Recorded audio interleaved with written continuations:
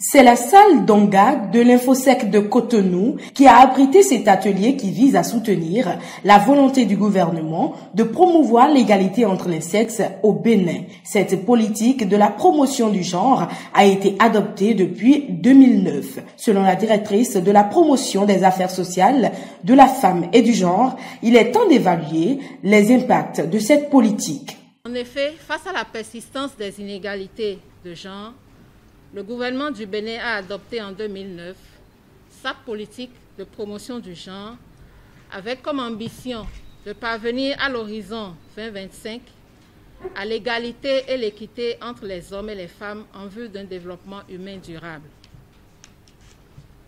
Nous sommes en 2022. Quel parcours avons-nous fait?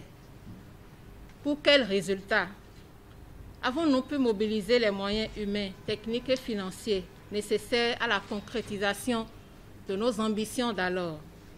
Sommes-nous sur la bonne voie? Quelles sont les réorientations ou réajustements qui s'imposent?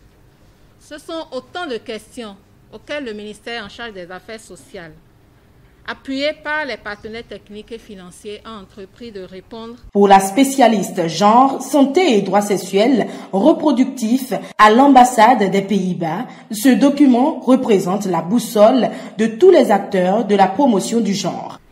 Le document autour duquel nous sommes réunis, faut-il le rappeler, est notre boussole, notre Bible dans le domaine du genre.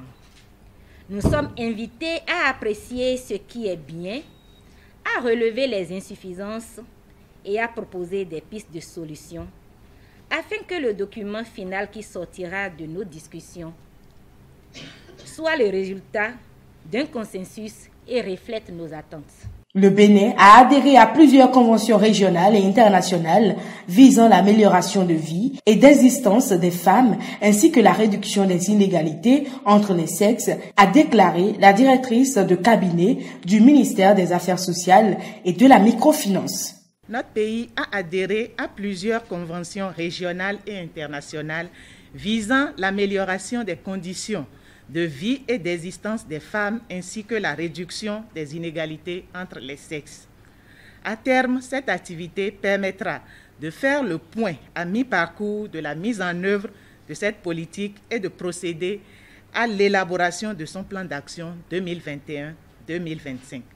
Le présent atelier a été précédé de plusieurs séances et ateliers dont celui de la reconstitution de la théorie du changement de la PNPG 2009-2025. Cet atelier de validation du rapport final de la PNPG s'insère dans une approche participative nécessitant l'engagement des acteurs multisectoriels du domaine de la promotion des égalités entre les sexes.